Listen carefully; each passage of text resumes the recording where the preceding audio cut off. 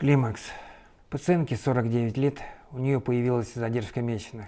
Слово «климакс» приводит ее в ужас. Она страшно боится менопаузу. Она боится, что с приходом климакса могут появиться заболевания, такие как сахарный диабет, гипертоническая болезнь и другие.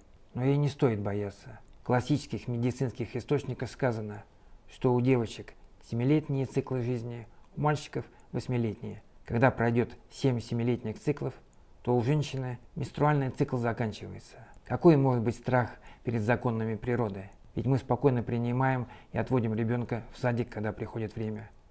Когда пришло время, он пойдет в школу, потом во взрослую жизнь. После школы будет по-другому.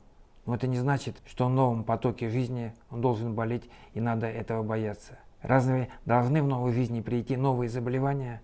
Современная иглотерапия в последние годы добилась больших успехов при патологическом климаксе. Организм женщины застрял в фазе огня и не может перейти в фазу Земли. Иглотерапия умеет этот переход сделать более коротким и более комфортным. Самый красивый случай произошел полгода назад, когда моя старая пациентка обратилась ко мне с жалобой на частые приливы.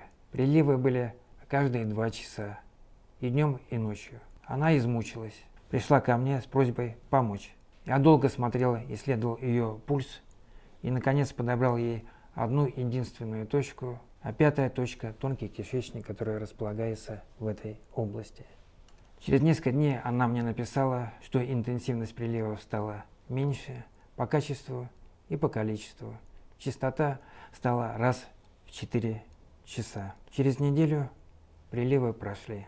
Пришла ко мне через три месяца, приливы начали начинаться, и мы с ней будем работать дальше, опробуя нормализовать ее функцию терморегуляции.